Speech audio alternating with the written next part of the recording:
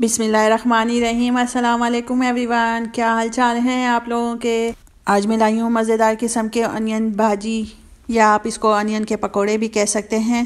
तो ये मेरी दोस्त साइमा खान ने फरमाइश करी थी कि आजकल बारिशें हो रही हैं तो तुम पकोड़े वगैरह बना के दिखाओ। वैसे तो हमारे यहाँ तो हर दूसरे रोज़ बारिश होती रहती है तो इसलिए यहाँ पे इतना बारिश का होता नहीं है। और मैं पकोड़े पहले भी बना चुकी हूँ तो इसलिए आज मैंने सोचा थोड़े डिफरेंट टाइप की आपको पकोड़े बना के दिखाऊँ। तो चले आइए हम शुरू करते हैं अपने मज़ेदार किस्म के अनियन भाजी को बनाने के लिए। तो अनियन भाजी बनाने के लिए हमें चाहिए आधा कप बेसन हैगा वन फोर टी स्पून ज़ीरा है और हाफ़ टी स्पून अजवाइन है। वन टीस्पून पिसे हुए मिर्चें हैं मिर्चें आप अपने हिसाब से एडजस्ट कर सकते हैं। हाफ़ टी स्पून हल्दी है। Two and half tablespoon ये एक राइस फ्लावर है। चावलों का आटा है हाफ़ टी स्पून सॉल्ट हैगा। एक बड़ी प्याज है जिसको मैंने गोल गोल स्लाइस कर लिया इस तरह करके। अगर आपकी छोटी प्याज है तो आप उसको दो प्याज भी ले सकते हैं और उसको इस तरह गोल गोल स्लाइस करके काट लें। हमें लच्छों को अलग नहीं करना है, बल्कि साथ ही जुड़े रखना है।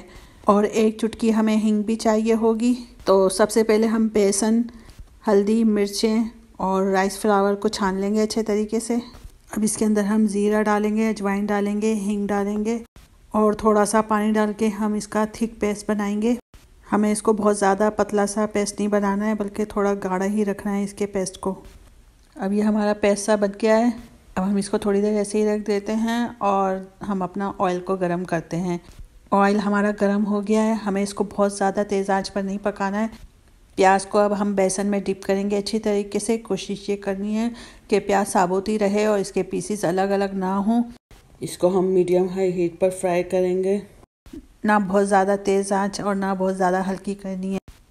और इसी तरह करके मैं सारी प्याज को डिप करके इसमें डालूँगी। और जब ये हमारी प्याज गोल्डन ब्राउन हो जाएगी फिर हम इसको निकाल देंगे इन अब ये हमारी गोल्डन ब्राउन हो गई है।